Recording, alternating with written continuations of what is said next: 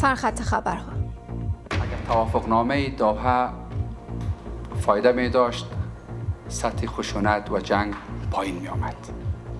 یک سال پس از توافق صلح آمریکا و طالبان دولت افغانستان می‌گوید تأثیری در کاهش خشونت نداشته. طالبان می‌گویند خوشبینیم.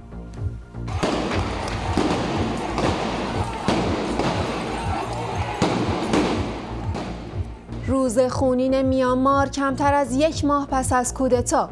نیروهای امنیتی دست کم نه معترض را کشتند. در از یک هفته کل خوزستان در واقع درگیر شده.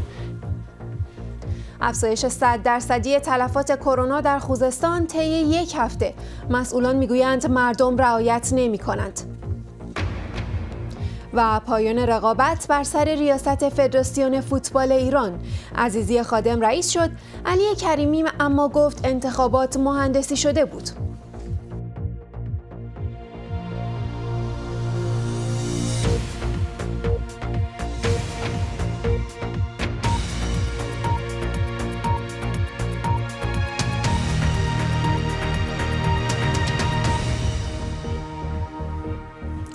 سلام به این بخش خبر از تلویزیون فارسی بی بی سی خوش آمدید. در اولین سالگرد امضای توافقنامه صلح بین آمریکا و طالبان در دوحه قطر، وزارت دولت در امور صلح افغانستان گفته که این توافق در کاهش خشونت و بهبود وضعیت چندان موثر نبوده. با این حال او تاکید کرده که روندی که در دوحه جریان دارد باید ادامه پیدا کند. طالبان هم گفته که با وجود کمبودهای عملی این توافق روندی مثبت را طی کند اما به گفته وزارت داخله در یک سال گذشته طالبان برخلاف تعهداتش در بیش از 2000 بمبگذاری 90 حمله انتحاری و 500 ترور دست داشتند و بیش از 2000 غیر نظامی را کشتند. نسرین نوا از کابل گزارش می‌دهد. پس از یک سال صدای نارضایتی دولت افغانستان از توافقنامه دوحه همچنان بلند است. نارضایتی از ادامه جنگ و ناامنی ها حتی پس از شروع مذاکرات. اگر توافقنامه دوحه فایده می داشت سطح خشونت و جنگ پایین می آمد. یعنی خودش واضح است. گروه طالبان در اعلامیه‌ای به مناسبت یک سالگی این توافق بر عملی شدن کامل تعهدات تاکید کرده و هشدار داده هیچ بدیلی جایگزین آن نخواهد شد. در این اعلامیه تاکید بر خروج متباقی نیروهای خارجی از کشور، حذف تحریم علیه این گروه و آزادی متباقی زندانیان برای تسریع مذاکرات صلح شده. توافقنامه دوحه میان طالبان و آمریکا یک سال قبل در چنین روزی با سه شرط اساسی از سوی آمریکا امضا شد. قطع رابطه طالبان با القاعده و گروه های حراس افغان، کاهش خشونت ها و گفتگو با دولت افغانستان. آمریکا هم در مقابل قول داد تا 14 ماه نیروهایش را از افغانستان خارج و دولت را وادار به آزادی 5000 زندانی طالبان کند. هرچند این یک سال برای آمریکا بدون هیچ تلفاتی گذشت گزارش های متعددی نشان داده طالبان هنوز با القاعده در ارتباط هستند و خشونت ها کاهش که نه بیشتر هم شده خصوصا پس از شروع مذاکرات میان دولت و طالبان. افغانها توقعاتی که از توافقنامه دوحه داشتند را به دست نیاوردند. این سند تنها آتش بس برای آمریکایی ها را تأمین کرد و همچنان رابطه میان طالبان و افغان ها در قتل، ترور و وحشت محدود مانده. کاربران شبکه های اجتماعی هم امروز با انتقاد از نتایج توافقنامه دوحه از یک سال در سایه توافق نوشتند.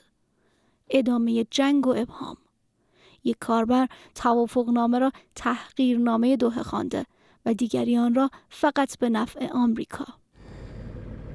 پیمان نامه دوحه به باور بسیاری به گروه طالبان امتیاز فراوانی داد و این گروه در یک سال گذشته با حمله در میدان جنگ و فشار در میدان مذاکره توجه بیشتری جلب کردند. حالا انس حقانی در توییتی گفته اگر این بار جنگ را آغاز کنیم ما پهپادهای بدون سرنشین و موشکهای خودمان را داریم و این وضعیتی است که مخالفین ما پیش از این هرگز در میدان جنگ ندیدند. بازنگری این توافق و احتمال تغییر رویکرد واشنگتن در قبال طالبان ظاهرا این گروه را نگران کرده. اما با وجود همه نارضایتی ها و اتهام ها به باور همه طرف ها ادامه مذاکرات تنها گزینه باقی مانده برای ختم دو دهه جنگ خونین افغانستان است.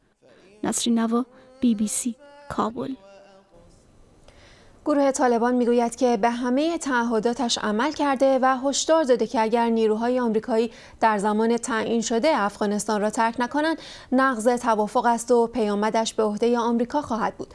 خبرنگار ما داوود قاریزاده در گفتگو با محمد نعیم سخنگوی دفتر سیاسی طالبان در دوحه قطر پرسیده که این گروه چه انتظاری از دولت جدید آمریکا دارد. با خود قسمی که به همه هویدا و ظاهر است. توافقنامه که میان امارات اسلامی افغانستان و ایالات متحده آمریکا به امضا رسید. در اصل یک توافقنامه با یک حکم با یک نظام بود. و این نظام طبعا با متحدات خود التزام می داشته باشد. در رابطه مگر شما باید دارین اگرچه در ابتدا بعضی اظهارات از بعضی مقام های بلند پایه امریکا صورت می گرفت و در نهایت ما شما دیدیم که از طرف خود بایدن در این رابطه اظهارات با میان آمد. آنها گفتند که ما از پروسه سیاسی از حل سیاسی که در مشکل افغانستان به حل بتواند نهایتا از او پشتبانی می‌کنیم و در این پشتبانی محکم خود را به استاد هستیم.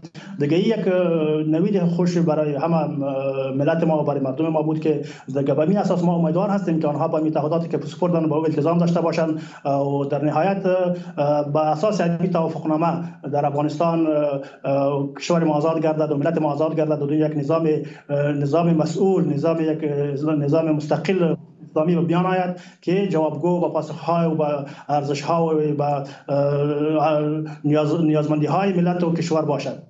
شما چقدر به تعهداتتان پایبند بودید که حالا از آمریکایی ها می‌خواهید که به تعهداتش پایبند بماند؟ بسیار خوب نقطه اشاره فرمودین. در رابطه می‌خواهم بگویم که امارات اسلامی افغانستان الحمدلله تعهدی که سپرده به مو اساس معتقدات ما به اساس نصوص قرآن کریم و حدیثی که در رابطه بسیار حدیث مکرمه پیغمبر صلی الله علیه و در رابطه ما تعهد بالکل کامل داشتیم. مثلا ما می‌تونیم در رابطه یادآوری کنیم. در توافقنامه آمده که خاک افغانستان بر ضد هیچ کشور و بر استقلال نمیگردد. تا هنوز به این در این رابطه هیچ کدام تخطی صورت نگرفته. هیچ هنوز ولی هنوز بسیاری معتقدن از جمله خود آمریکا گفته که شما هنوز رابطه ایتان را با القاعده حفظ کردید. ما عرض داشتم در توافقنامه چیزی که آمده که خاک افغانستان بر ضد هیچ کشور استخدام نمیگردد. این به این تعهد ما ملتزم هستیم تا هنوز هیچ کدام در این رابطه کدام تخطی صورت نگرفته این هیچ کس نمی‌تونه بگه قطع رابطه با های تروریستی یک بخش دیگه از این توافق شما با آمریکا بوده در هیچ جای توافقنامه کلمه تروریست و چیزا چیزی که در توافقنامه آمده ما با او متحد هستیم با او ملتزم هستیم با او تعهد خود به همه به میان گذاشتیم و به اثبات رساندیم نقطه پس آیا شما هنوز با القاعده ارتباط دارید یا ندارید ما گفتم چیزی که ما توافق کردیم توافق با مو توافق التزام داریم. در توافقنامه را شما باشه بخوانید ببینید که در توافقنامه چی است. ما با متحدات که سپردیم با تعهدات خود ملتزم هستیم با او از او کدام تخطی صورت نگرفته و در هم ما ملتزم باشیم. آمریکا هم در این حال سرگرم بررسی توافقش با شما هست. دولت جدید آمریکا. اگر تصمیم بگیره که بیشتر در افغانستان بماند چیکار می‌کنن؟ نقض توافقنامه باز چی معنا داره؟ یک کس توافقنامه را نقض می‌کنه. تعهدات را که سپرده با او التزام نمی داشته باشه. واضح هست که مشکلات هر کس که ایجاد می‌کنه باز تحمل نتایج هم با او میگردد. با می باشه از طرف ما کدام مشکل نیست ما با تعهدات خود ملتزم هستیم. چیزی را که تعهد سپردیم با او التزام داریم. اما اینکه یک کس میاد و خونما را نقض می‌کنه تعهدات خود به تعهدات خود التزام نمی داشته باشه این خب واضح هست باز از هر نگاه از هر اصول ببینیم که این باز کار درست نیست. محمد نعیم سخنگوی دفتر سیاسی طالبان بود. محمد حیدری از دفتر مطبوعاتی ریاست جمهوری افغانستان از کابل با ما هستند. آقای حیدری یک سال گذشته از این توافق توافق بین آمریکا و طالبان. شما همیشه مخالف این توافق بودین. انتظارتون الان که یک سال گذشته از دولت آمریکا چیه؟ تشکر. این توافقنامه بین ایالات متحده آمریکا و گروه طالبان بود. نه بین حکومت افغانستان و حداقل یک توافقنامه سه جانبه نبود. ولی برغم از او حکومت افغانستان به تمام خواستهای متحد استراتژیک خود ایالات متحده آمریکا احترام گذاشت. و این هزار زندانی طالبان را رها کردند. و از, از حالت تهاجمی به طرف حالت دفاعی رفتن. تمام تمهیدات و انعطاف در رابطه با صلح را از خودش حکومت افغانستان نشان داد. اما برخلاف ادعایی که طالبان دارد طالبان به 5 فیصدی از تعهدات خود در توافقنامه دو هم عمل نکرده. بحث کاهش خشونت ها از اساسی ترین خواست های به خواست توافقنامه دوحه بود که خشونت صد چند افزایش یافتند ترورهای هدفمند هدف قرار دادن فعالان مدنی فعالان رسانه‌ای و حتی حمله به بزرگ شهرها در قندهار و بعضی نقاطی که اینا توانستند به بزرگ شهرها هم حمله کردند در حالی که یکی از مواد درشت توافقنامه ای بودن که حملات گسترده ای از طرف طالبان انجام نمیشه. یک مسئله. دو بحث رهای تعداد زیادی از زندانیانی که به از بند رها شدن اینا عملا به میدان جنگ برگشتن و بله، تعدادشون هم کشته ولی الان گزینه چیه؟ شما انتظار دارین که آمریکا چه کار کنه؟ ما انتظار داریم که ایالات متحده آمریکا این توافقنامه را به صورت جدی بررسی کنه تا برای هر دو طرف الزام آور باشه. طالبان به صورت غیر مسئولانه و یک طرفه تعهدات مندرج در توافقنامه قطر را نقص نکنه. خشونت ها را افزایش ندن می‌دانیم که شورای امنیت سازمان ملل گزارش دادن که روابط طالبان با القاعده نه تنها قطع نشده که پیچیده تر و سیستماتیک تر از گذشته هم شده. خب آمریکا الان گفته که نیروهاشو می‌خواد بررسی کنه که نیروهاشو از افغانستان ببره بیرون یا نه و به نظر هم نمی‌رسه که تا اول ماه مه که ضرب العجل بوده این نیروها خارج بشن. چقدر فکر می‌کنید که اقداماتی از این دست می‌تونه موثر باشه؟ خب ما امیدوار هستیم که ایالات متحده آمریکا همچنان که در گذشته همکار استراتژیک دولت و ملت افغانستان بوده این بار هم با در نظر داشت اقدامات را که طالبان از خودش نشان داد خشونت ها را افزایش دادن و تعهداتش پابند نبودن نقص گسترده حقوق بشر را پس از توافق انجام دادن ایالات متحده آمریکا همراه با ناتو و همپیمانان اروپاییشان در کنار مردم افغانستان بیستند چرا که این حمایت از قربانی های هست که خود آمریکا هم در افغانستان پرداخته. دوم تهدید تروریسم بین المللی از افغانستان رفت نشده و هنوز القاعده با طالبان یک روابط پیچیده داره ممنونم ازتون محمد حیدری از دفتر مطبوعاتی ریاست جمهوری افغانستان. تظاهرات دانشجویان معترض در داکا پایتخت بنگلادش به خشونت کشیده شد. ماموران پلیس با گاز اشکاور و باتون به معترضان حمله کردند. این تظاهرات در واکنش به مرگ مشتاق احمد نویسنده و فعال سیاسی در زندان رخ داد. آقای احمد ده ماه پیش بازداشت شد. او در انتقاد از مدیریت دولت بنگلادش در همهگیری کرونا مطالبی منتشر کرده بود. در خونین ترین روز درگیری های خیابانی سه هفته گذشته در میانمار بین معترضان و نیروهای امنیتی امروز دست کم نه نفر کشته شدند. تظاهر کنندگان به کودتای نظامیان اعتراض دارند که با ابطال نتایج انتخابات سه پیش و بازداشت آنسان سوچی رهبر حزب حاکم قدرت را به دست گرفتند. در بعضی از شهرها ماموران به طرف معترضان گلوله های جنگی و پلاستیکی شلیک کردند. کسران ناجی گزارش می‌دهد. خیابان های ینگون بزرگترین شهر میانمار. امروز از قول کاردینال اعظم کاتولیک های کشور نقل شده که گفته میانمار به میدان جنگ تبدیل شده. تعداد تلفات طی روز افزایش پیدا کرد. در این خونین ترین روز تظاهرات طی سه هفته گذشته با ایستادن مردم در مقابل کودتای نظامیان. این کمی پیشتر در اوایل روز راهپیمایی صلحآمیز گروه های گسترده ای از مردم از دانشجویان آموزگاران کادرهای پزشکی و درمان کارمندان کارکنان شهرداری. با دست گرفتن عکسهایی از آنسان سوچی که نظامیان او را در خانهش حبس کردند. اما خیلی ها برای رزم هم آماده بودند. برای فرستادن پیام محکمی به نظامیان. دیروز به طرف ما تیر اندازی کردن. روز قبلش هم اما برای من مهم نیست. من قبل از اینکه بیرون بیام با خانوادم خدافزی کردم چون ممکنه که دیگه بر نگردم این گوشه دیگری از یانگون جایی که گزارش شده که یک آموزگار کشته شد. خشونت نیروهای پلیس که از طرف نیروهای ارتش پشتیبانی می‌شوند کنترل اوضاع را برای آنها دشوارتر کرده و تظاهر کنندگان را مصممتر و آماده تر برای مقابله. تظاهر کنندگان خواهان برگشت حکومت غیر نظامی آنسان سوچی هستند که حزب او در انتخابات سه ماه پیش حدود 60 درصد از کرسی های پارلمان را به دست آورد. در انتخاباتی که حالا نظامیان آن را باطل کردند.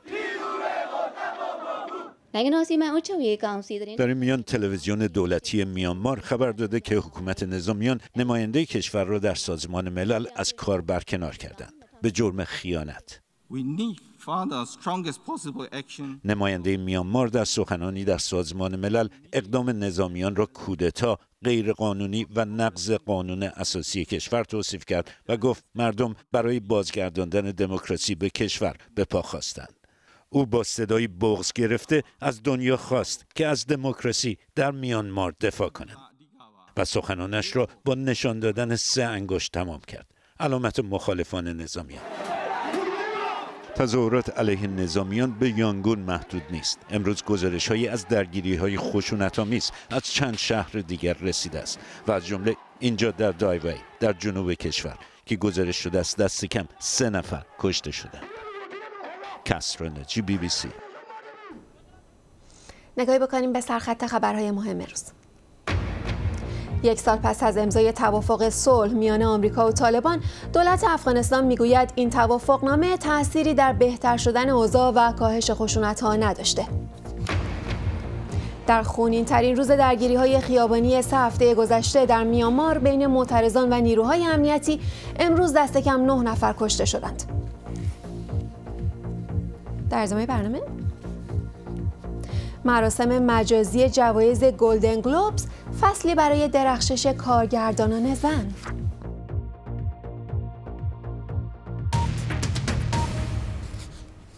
با شدت گرفتن شیوع ویروس کرونا در خوزستان شمار مبتلایانی که در این استان جنوبی ایران جان باختند در عرض یک هفته دو برابر شده. این را رئیس دانشگاه علوم پزشکی اهواز گفته هرچند که آمار جان باختگان را اعلام نکرده. مقام ها می‌گویند بسیاری از مردم خوزستان مقررات بهداشتی را رعایت نمی کنند از سوی دیگر درخواستها برای تعطیلی کامل استان هم نتیجه مانده. پرهام قبادی گزارش می‌دهد. کرونا نفس خوزستان را گرفته. قرار شده مشاغل غیر ضروری تعطیل باشند. اما کرکره های نیمه باز و حضور مردم در خیابان ها از بیتوجهی به دستورالعمل های بهداشتی حکایت دارد. مسئولان برق خیابان ها و مراکز خرید را قطع می کنند تا مردم به خانه بروند. درخواست های مکرر مسئولان بهداشت و درمان برای قرنطینه دو هفته ای استان به جایی نرسیده. ایرج حریرچی معاون وزیر بهداشت می‌گوید روند ابتلا در دو استان خوزستان و چهار محال بختیاری افزایشی است. سر و کله ویروس جهش یافته در هر دو استان پیدا شده. مرگ و میر هم بیشتر شده. بین 25 30 تا دفن روزانه رسید. قبلا چقدر بود 12 تا معاون درمان وزیر بهداشت می‌گوید این بلا در مدت زمان کوتاهی بر سر خوزستان آمده. شما این استان خوزستان در عرض یک هفته کل خوزستان در واقع درگیر شده. حدود ده روز پیش آژیر وضعیت قرمز در خوزستان به صدا درآمد. مسئولان می‌گویند ناگهان وضعیت خوزستان وخیم شده. اما با تصاویری که هفته های پیش از خوزستان دیده می‌شد چنین اتفاقی دور از انتظار نبود. مثلا این مراسم جشن سالگرد پیروزی انقلاب 57 در اهواز است. حدود سه هفته پیش. مراسم عزاداری در باغ ملک در خوزستان. حدود دو هفته پیش. یا این مراسم عروسی در همین شهر. و دوباره همانجا رقص و چوب بازی در مراسم افتتاحیه یک بیمارستان بیش از دو هفته پیش. و این تجمع رانندگان در بندر ماهشهر است. در تهران هم بسیاری از رعایت نکردن های بهداشتی و شلوغی وسایل نقلیه عمومی شکایت دارند. 50 درصد ماست 50 درصد ماست نمی‌زنن. تو مترو ماست نمی‌زنن. اصلا نمی‌زنن. البته وزیر بهداشت ایران از وضعیت راضی است. می‌گوید جهان از کنترل کرونا در ایران حیرت کرده. سعید نمکی دلیل آن را نظام بهداشتی ایران و به میدان آمدن نیروهای بسیجی و هلال احمر عنوان کرده. در آستانه نوروز دولت هنوز تصمیم قاطعی برای سفرها در ایران نگرفته و گفته به آمار ابتلا در روزهای آینده بستگی دارد. بکنن یعنی عید امسال یه چیزی مشابه عید پارساله. شاید از یه نظرهایی باید بیشتر از پارسال هم ما مراعات بکنیم. تزریق آزمایش بالینی رو ایران گام هایی برای تولید واکسن برداشته.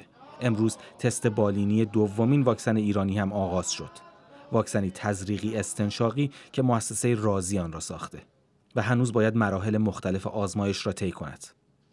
امروز همچنین اولین محموله واکسن کرونای ساخت چین وارد ایران شد. 250 هزار دوز واکسن سینوفارم. قبلا هم 600 هزار دوز واکسن روسی اسپوتنیک وارد شده بود. واکسیناسیون در ایران تا به حال کند بوده. مقدار واکسن های وارداتی هم برای واکسیناسیون گسترده کافی نیست. پرهام قبادی بی بی سی چند خبر کوتاه. شرکت آمریکایی جانسن جانسون می‌گوید که واکسن واکسن کرونا تولیدی خود را هفته آینده در آمریکا تحویل می‌دهد. این شرکت گفته که می‌خواهد بیش از 100 میلیون دوز از محصولش را تا چهار ماه دیگر تولید کند. واکسن جانسن جانسون فعلا تنها واکسن تک دوزی کرونا است که در جهان عرضه می شود از مزایای دیگر این واکسن واکسن قابلیت نگهداری آن در یخچال معمولی است.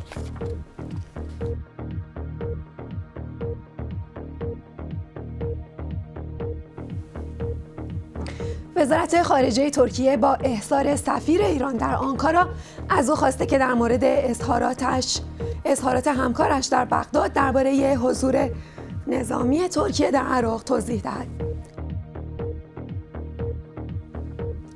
ایرج مسجدی سفیر ایران در عراق گفته بود که حضور نیروهای ترکیه در شمال عراق یک تهدید است و آنها باید به مرزهای بین المللی عقب نشینی کنند. فاتح ییلدیز سفیر ترکیه در عراق هم جواب داده که سفیر ایران آخرین کسی است که باید ترکیه را در مورد احترام به مرزهای عراق نصیحت کند. در همین حال وزارت خارجه ایران سفیر ترکیه در عراق را احضار کرد.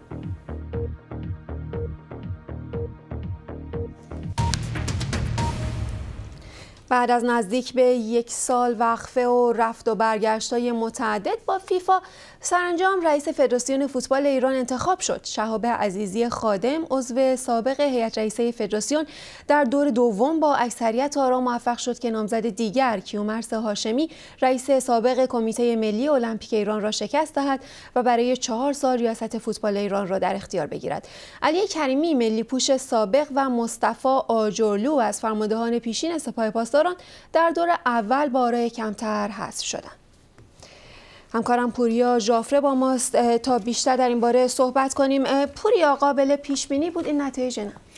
تقریبا میشه گفتش که با یه خورده تغییر ما اینا رو توی چند هفته گذشته حتی مسابقه که خودم با تو داشتم هم حدودی گفته بودیم به خاطر اینکه تا یه اندازه زیادی اتفاقی که تو این انتخابات افتاده اینه که اون فدراسیونی که ریاستش دست مهدی تاج بود بعدا به حیدر بهاروند تبدیل به سرپرست شد.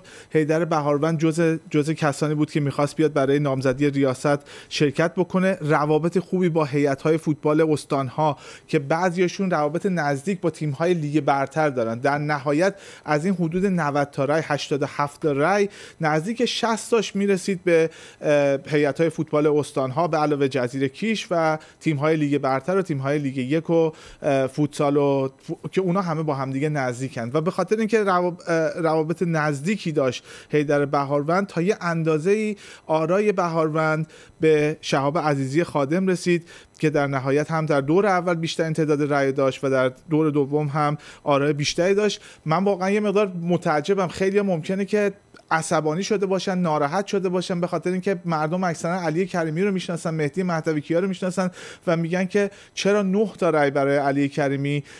ولی این نه تا رأی هم حتی بیشتر از اون چیزی که انتظار داشتن به خاطر اینکه علی کریمی هم وارد اون چیزی که خودش بازی های انتخاباتی خونده بود نمی‌خواست بشه. یه نگاه بکنیم به این واکنش علی کریمی و مصطفی آجلو دو تا نامزدی که تو دور اول شکست خوردن. مهندسی که من اونو که نمی‌تونم اونو دیگه بعدش از چیز سوال کنید ولی جا داره که با تاخیر هفته مهندس روز مهندس رو به دوستان به مهندسین عزیز تبریک بگم و براشون آرزوی موفقیت. ساعتم کنم انتخابات؟ نه. هیچ نمی‌خواد بگی؟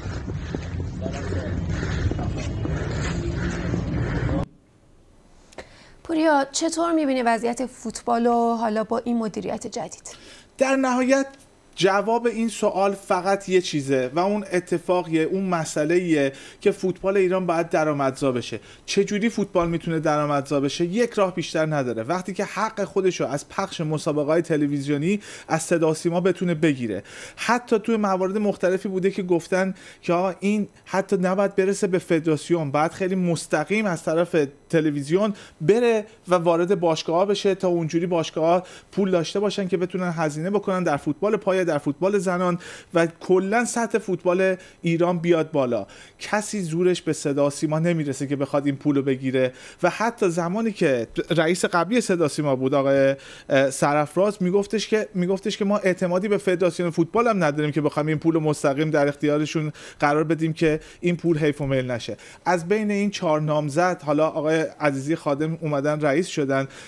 چالش بزرگ اینه که چجوری چجوری این پول رو می‌تونن بگیرن که تازه الان کار پیچیده تر شده. به دلیلی که صدا سیما فقط نیست شبکه های اینترنتی هم اومدن و اونها هم دارن پخش می‌کنن و معلوم نیستش که دقیقا این حق پخش چجوری با چه چارچوب قانونی به چه کسی باید پرداخت بشه. ممنونم از پوریا جافره با ما. نامزدهای امسال جوایز گلدن گلوبز امشب لباسهای فاخرشون رو میپوشن تا از اتاقهای نشیمنشون به صورت مجازی در مراسم حاضر بشن. گفته میشه که این فصل دوره کارگردانان زن است. سه کارگردان زن در برابر دو کارگردان مرد برای جایزه بهترین کارگردان رقابت می‌کنن. محصولات آمازون و نتفلیکس در صدر نامزدهای گلدن گلوب هستند سوفیلان گزارش میده. عجب سالی برای سینما بود. اشتباه خوند. عجب. سالی برای سینما؟ تینافی و امی پولر برای چهارمین بار با کمدی و خنده بیشتر میزبان مراسم هستند. فهرست نامزدها از ساحل شرق و غرب قاره آمریکا با فاصله اجتماعی 4800 کیلومتری به صورت مجازی اعلام شد. مراسم در فضای نیمه خالی است و خبری از میز شام سلبریتی ها نیست. ولی مراسم گلدن گلوب کماکان جای بروز خلاقیت و استعدادهای سینمایی روی پرده و پشت صحنه است. فیلم مان که داستان هالیوود قدیم با همه فریبندگی و سوسمزاجی هایش را تعریف می کند در شش رشته نامزد شده است. همچنین فصل چهارم سریال تاج که درباره روابط عجیب دربار بریتانیا است پیش بینی می شود پیشتاز بخش تولیدات تلویزیونی باشد. برای اولین بار کارگردانان زن بیشتری نامزد شدند. کلو ایژاو برای فیلم سرزمین آواره ها که داستان واقعی سفر انسان در غرب آمریکا را بازگو می کند. امرالد فنر برای نخستین فمینیست زن جوانی با آینده درخشان که پر از انتقام و تصفیه حساب است. و رجینا کینگ برای داستان تاریخی یک شب در میامی. چادویک بوزمن برای بازی در نقش یک نوازنده درمانده ترامپت در فیلم پایین بارانی سیاه من نامزد بهترین بازیگر مرد شده.